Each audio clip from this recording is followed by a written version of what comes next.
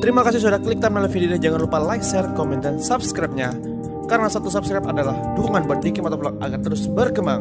Halo guys, assalamualaikum warahmatullahi wabarakatuh. Balik lagi bersama aku channel Diki Motovlog. Hari ini uh, kembali lagi aku akan bahas lampu tembak terbaru yang baru aku beli. Itu adalah lampu dari produksi Fahid yaitu MT26 yang terbaru, yaitu generasi penerus uh, dari MT25. Jadi simak terus videonya sampai habis.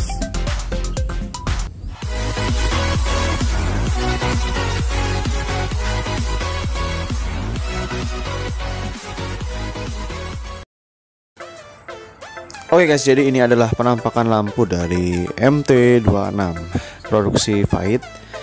Lampu MT26 sendiri adalah penerus dari generasi sebelumnya yaitu dari MT25. Keunggulan dari MT26 sendiri dia memiliki dua warna dalam satu lampu. Ada warna kuning dan warna putih. Jadi ini sistemnya high dan low. Jadi kalian bisa lampu tembak ataupun lampu dekat ya.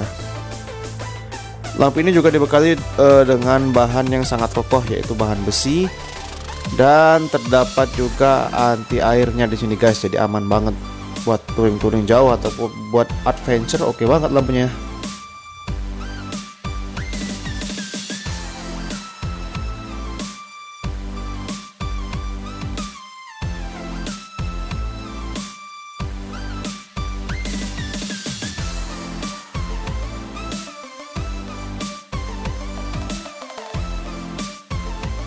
Dan ini adalah output cahaya dari MT26 pada malam hari.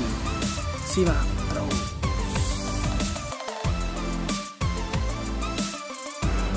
Dan ini cahayanya warna kuning. Yang pertama ini allow light. Sengaja lampunya aku tundukin ke bawah supaya dia nggak nyilauin orang ya ketika kita jalan. Lampu dekat. Warna kuning ya guys. Kuningnya kuning pekat.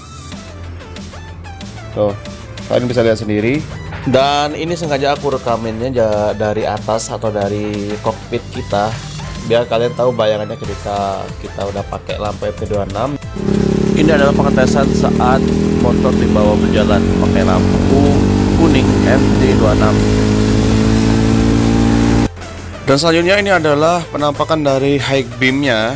Ini lampu tembaknya ya. Waduh jauh banget. Warna putih pula. Mantap guys. Tebel banget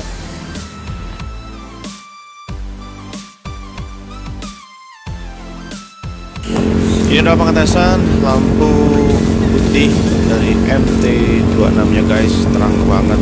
Gila ini enak banget kalau buat di adventure atau touring. Iya dengan gitu mantap. Dan bagaimana bosku? Sudah menonton videonya sampai habis ya?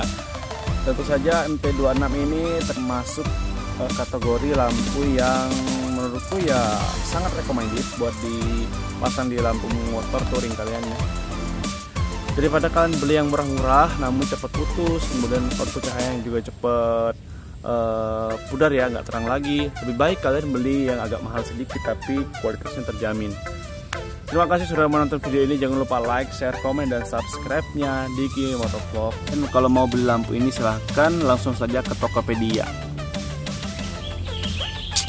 Iki Motovlog, bye-bye.